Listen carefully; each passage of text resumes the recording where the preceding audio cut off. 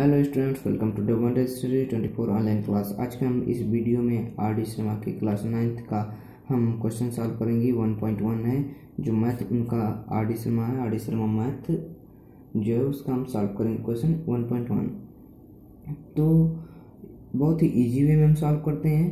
तो क्वेश्चन आपके स्क्रीन पर फ़र्स्ट क्वेश्चन क्या है? लेवल वन का फ़र्स्ट क्वेश्चन क्या है? एक्सरसाइज वन पॉइंट वन तो क्वेश्चन आपके स्क्रीन पर दिखाई दे रहा होगा, जो कि एनसीईआरटी का क्वेश्चन है। अगर आपके पास एनसीईआरटी बुक है या आर डी बुक है तो आप देख सकते हैं क्वेश्चन को। चलिए तब हमारा फ़र्स्ट क्वेश्चन ये रहा। कि is zero is a rational number क्या ज़ीरो रेशनल नंबर है? जी हाँ ज़ीरो रेशनल नंबर है। Can you write in the form P upon Q where P and Q are integer and Q not equal to zero क्या हम इसको zero के P upon Q के form में लिख सकते हैं? ज़ीरो जो कि ज़ीरो हो Q not equal to zero जैसे, देखिए ज़ीरो एक रेशनल नंबर है यस ज़ीरो एक रेशनल नंबर है, ये हमारा है रेशनल नंबर तो इसको पी अपन क्यू के फॉर्म में लिखना है ज़ीरो को, और जो कि Q not equal to zero हो। ऐसे लिखना है। कैसे लिखेंगे? देखिए बहुत ही तो ज़ीरो रेशनल नंबर तो ज़ीरो को हम न्यूमिनेटर ऊपर कर देंगे पी में बना देंगे और ज़ीरो अपन वन कर देंगे जो कि क्यू हो जाएगा। ज़ीरो रेशनल नंबर है ज़ीरो को हमने पी अपन क्यू के फॉर्म में लिख दिया है और ये ज़ीरो अपन वन कर सकते हैं ज़ीरो अपन टू कुछ भी लेकिन यहाँ पर नीचे ज़ीरो मत करिएगा। नीचे जी, नीचे ज़ीरो कर देंगे तो वो गलत हो जाएगा। पी अपन क्यू के फॉर्म में नहीं हो पाएगा फिर। तो zero upon one zero rational में और इसी पी अपन क्यू के फॉर्म में हमने लिख दिया। चलिए सेकेंड क्वेश्चन हम सॉल्व करते हैं। सेकेंड क्वेश्चन क्या है? Find five rational number between one and two one and two के बिटवीन हमें फाइव रेशनल नंबर फाइंड करने हैं। कितने rational number five rational number find करने हैं। तो फाइव रेशनल नंबर कौन से हैं? चलिए हम बताते हैं कैसे फाइंड करेंगे। ये टू से छोटा होगा, एक से बड़ा होगा तो देखिए एक से बड़ा कौन कौन से हैं? एक से बड़ा एक दशमलव एक है वन पॉइंट टू है वन पॉइंट थ्री है वन पॉइंट फोर है वन पॉइंट फाइव है वन पॉइंट सिक्स है वन पॉइंट सेवन तो फाइव फाइंड करने के लिए कहा था ना, अब यहाँ पर हम डॉट डॉट करके टू कर देंगे। देखिए, अब ये पी अपन क्यू के फॉर्म में नहीं है अभी। जैसे पी अपन क्यू के फॉर्म करेंगे ना पॉइंट को हटाएँगे तो इलेवन अपान टेन हो जाएगा। यहाँ ट्वेल्व अपान टेन हो जाएगा। यहाँ थर्टीन अपान टेन हो जाएगा। यहाँ फोर्टीन अपान टेन हो जाएगा। और यहाँ पर फिफ्टीन अपान टेन हो जाएगा। सिक्सटीन अपान टेन हो जाएगा, सेवनटीन अपान टेन हो जाएगा। तो ये रहा हमारा ये दूसरा क्वेश्चन का आंसर और हमारा थर्ड वाला क्वेश्चन क्या कर रहा है? Find six rational number between find six rational number between three and four जो कि थ्री और फोर के बीच में हमें सिक्स रेशनल नंबर फाइंड करना है। तो देखिए क्या कीजिएगा, इसके दूसरा है, दूसरा फार्मूला लगेगा।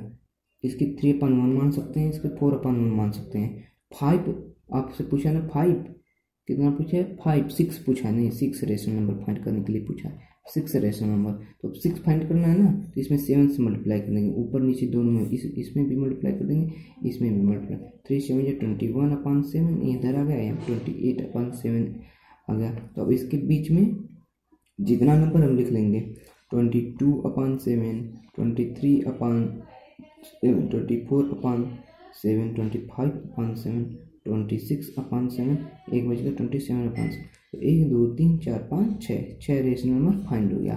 अब हमारा चौथा क्वेश्चन क्या रहा?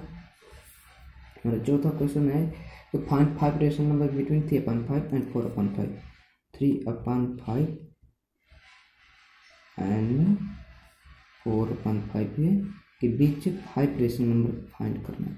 कितना rational number find five rational number तो आपको मैंने बताया था यहाँ पर कि यहाँ पर कुछ भी नहीं रहता तो अनुमान कर इसमें से कॉमन मतलब इसका मतलब कहने का मतलब यह है कि न्यूमिनेट डिनोमिनेटर जो है ना डिनोमिनेटर दोनों का इक्वल रहना चाहिए। दोनों का देखिए, यहाँ पर इसका सबका सबका डिनोमिनेटर इक्वल लेकिन जो कि डिनोमिनेटर जो है, सबका इक्वल रहना चाहिए। अगर डिनोमिनेटर इक्वल होगा, तभी आपका रेशनल नंबर जो है, वो फाइंड कर सकते हैं। देखिए हमारा क्या है, अगला क्वेश्चन में थ्री पॉइंट फाइव है एंड फोर पॉइंट फाइव पे। देखिए इसको कैसे सॉल्व करेंगे? दोनों का डिनोमिनेटर तो पहले से हमारा दे रखा है। डिनोमिनेटर दोनों का हमारे पहले से इक्वल दे रखा है। तो हमको सिर्फ़ क्या करना है? फाइव पूछा ना सिक्स मल्टीप्लाई कर देंगे। तो इसमें सिक्स से मल्टीप्लाई कर देंगे और इसमें भी कर देंगे। इसमें सिक्स से मल्टीप्लाई कर देंगे, इसमें कर देंगे। तो हमारा रेशनल नंबर फाइंड हो जाएगा। फाइव पूछा है तो एक ज़्यादा एक ज़्यादा हमेशा सबसे एक ज़्यादा करेंगे।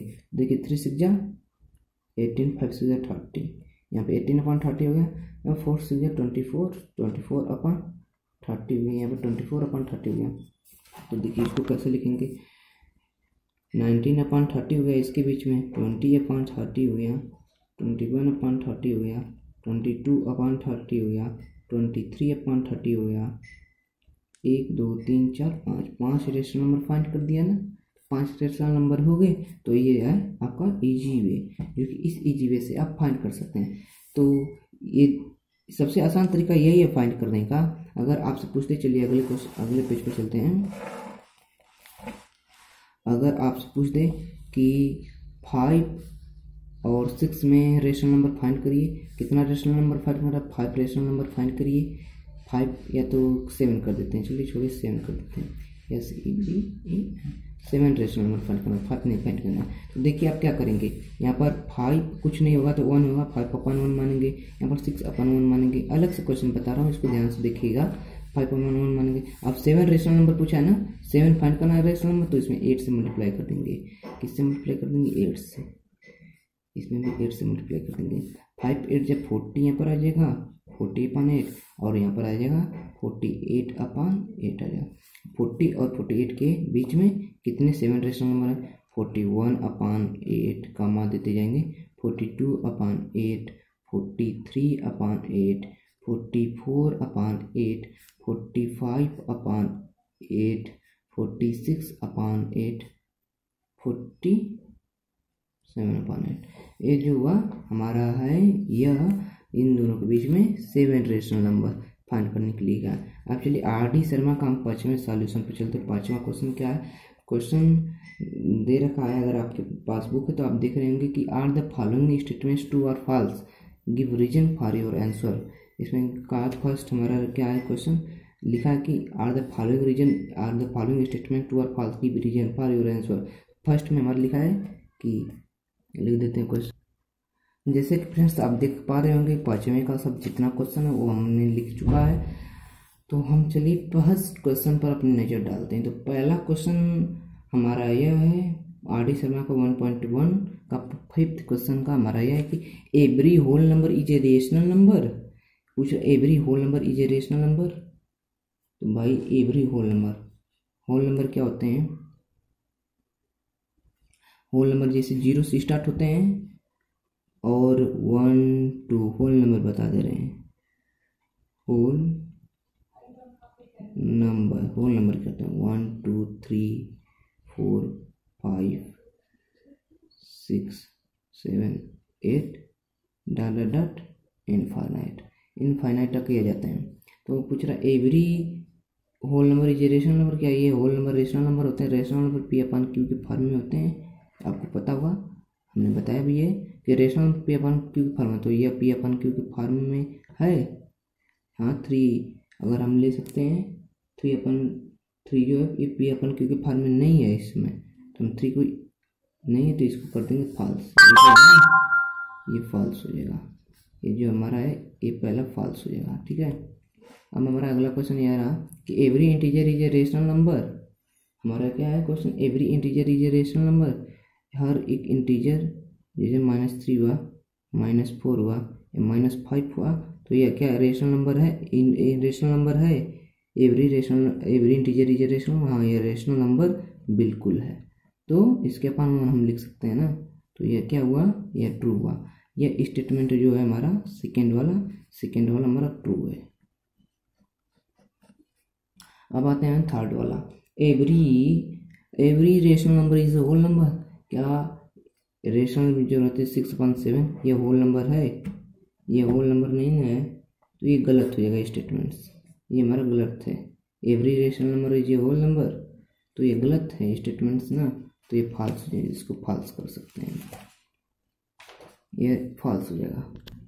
देख देखिए फ्रेंड देखिए फ्रेंड्स यहाँ पे गलती हुई। एवरी तीसरा क्वेश्चन था हमारा every rational number is integer ये जो every rational number is integer क्या हर एक रेशनल नंबर इंटीजर होता है? नहीं होता है। दोस्तों, नहीं होता है। इसको फॉल्स करेंगे। हमारा तीसरा स्टेटमेंट्स क्या हो जाएगा? फॉल्स हो जाएगा। तो देखिए, तीसरा स्टेटमेंट्स को हम फॉल्स करेंगे।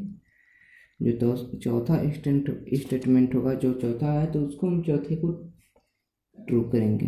Every natural number is whole number हर एक नेचुरल नंबर होल नंबर होता है, ये सबको पता है। और जो हमारा फिफ्थ वाला है every integer is a whole number तो every integer is a whole number नहीं होगा। ये भी फॉल्स हुआ। और ये लास्ट वाला every rational number is a whole number तो ये भी फॉल्स हुआ। तो फ्रेंड्स हम जान रहे हैं कि आपको वीडियो में बहुत ही, यहाँ पर थोड़ी परेशानी हुई होगी, लेकिन इसके लिए मैं आपको आपसे क्षमा चाहता हूँ। तो जो भी जितनी भी गलतियाँ हुई हैं, इसके लिए आपसे क्षमा चाहता हूँ। कैसा वीडियो सुधारने क्या सुधारना चाहिए, आप वीडियो को प्लीज़ कमेंट में बताइए। Thank you.